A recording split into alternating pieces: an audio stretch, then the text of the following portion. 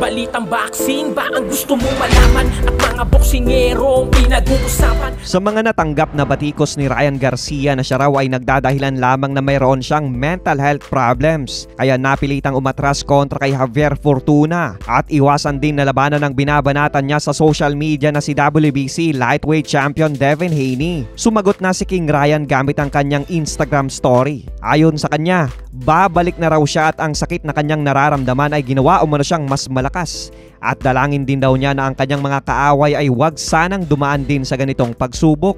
Ngayong may pinagdadaanan nga raw siya, marami raw siyang nakita at narinig na kung ano-anong bagay tungkol sa kanya at tungkol sa kanyang karakter. Kaya gusto umano niyang iparating na sa kanyang pagbabalik, eh asahan nilang siya ay gaganti. Kaso nga lang sa sinasabing pagbabalik na ito ni Garcia, ang nakanselang laban niya kontra kay Javier Fortuna ay malabo na muna ngayong matuloy sapagkat ang makakalaban na ng number 3 rated lightweight ng WBC ay nakakasa na ngayon kay Joseph Diaz ngayong July 9 para sa dating hawak ni Garcia na interim WBC lightweight belt.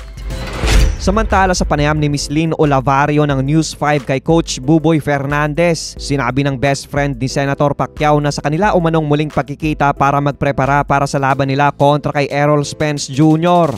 Nagsimula na raw silang magpalitan ng ideya para ma-formulate ang mga strategy na kanilang gagamitin para talunin ang undefeated unified welterweight champion. Napahanga nga rin daw si Coach Buboy sa kondisyon ni Senator Pacquiao dahil bagamat 2019 pa nung huli siyang lumaban, ramdam niyang andoon pa rin ang lakas ng pambansang kamao. Kaya alam niyang hindi pinabayaan ni Pacman ang kanyang sarili kahit na matagal na bakante dahil dito sa kinakaharap nating pandemic.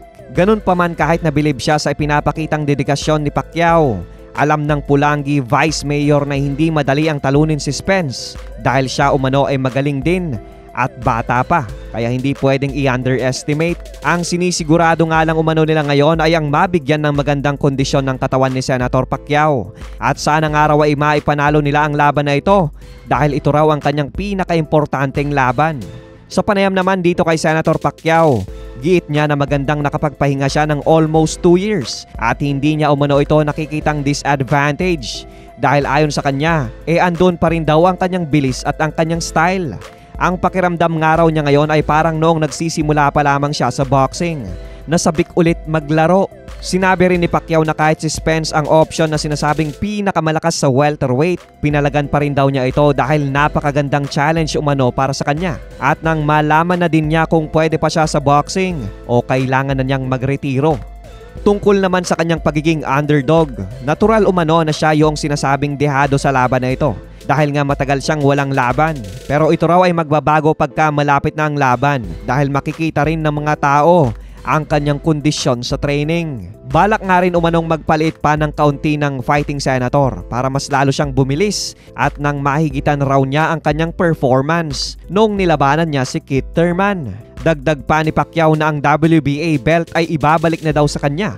Kaya ang laban niya kontra kay Spence ay para na sa Unified WBA, IBF at WBC World Welterweight Championship.